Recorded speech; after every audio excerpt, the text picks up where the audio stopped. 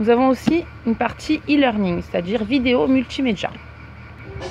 Donc ce sont des outils multimédia, vidéo disponibles sur l'extranet qui viennent compléter notre formation et nos cours que nous avons dans ces classeurs. Donc ça, nous permet d'acquérir euh, de nouvelles connaissances, de compléter celles que nous apprenons et de les tester d'une autre façon. Voilà, je vous le montre un petit peu. Vous voyez, donc euh, ça nous explique comment aller euh, voir les vidéos sur l'extranet, comment y accéder. On nous explique les vidéos à voir dans chaque tome et chaque série. Vous voyez, dans le tome 1, nous avons en introduction 4 vidéos.